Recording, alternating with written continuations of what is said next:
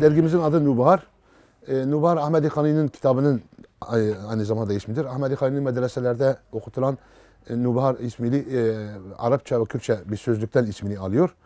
E, zamanında önce çıkan meyve turfan da demektir. Yeni bahar Türkçe'ye tercüme edersek bu anlama geliyor.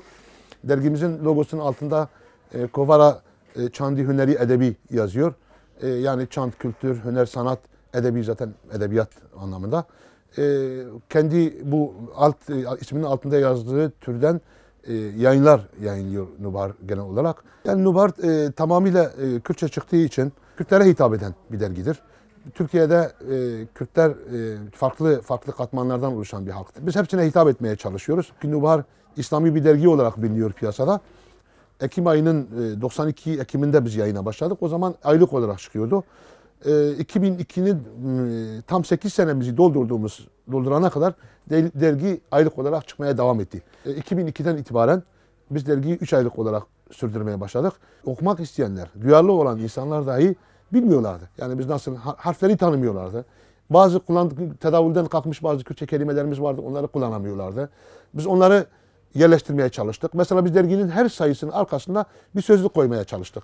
Mesela İstanbul'dan diyelim ki birisi bizi aradığı zaman ya ben okuyamıyorum dediğim zaman onu yayın evimize davet ettik. Dedik gel burada sana bir saatte öğretelim şeklinde. Çok böyle şeyler oldu. Nubar gibi dergiler veya başka dergiler, yayın evleri aynı zamanda Kürtlere, mera- meraklı olan Kürtlere, kendi dilini öğrenmek isteyen Kürtlere mektep görevini de görmüştür. Son dönemde 5000 basıyoruz. O da son dönemde son 1-2 senedir çok e, ciddi bir kriz var Kürt yayınlarla ilgili. Çözüm süreci döneminde e, ciddi bir beklenti vardı. Bu beklenti e, yani bu sor, Kürt sorununun çözüleceği, artık çatışmalı dönemlere girilemeyeceği, artık bir şekilde bu meselenin hal olacağı şeklinde ciddi bir inanç yerleşmişti. Çözüm süreci de bu bozulunca bütün kurumlar üzerinde, bütün Kürtler üzerinde bir travma meydana getirdi.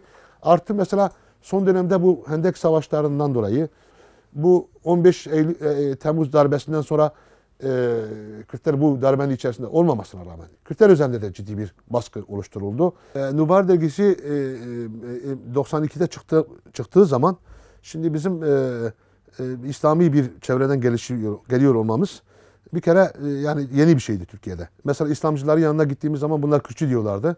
İşte sol kesim yanına gittiğimiz zaman bunlar dinci yobaz diyorlardı.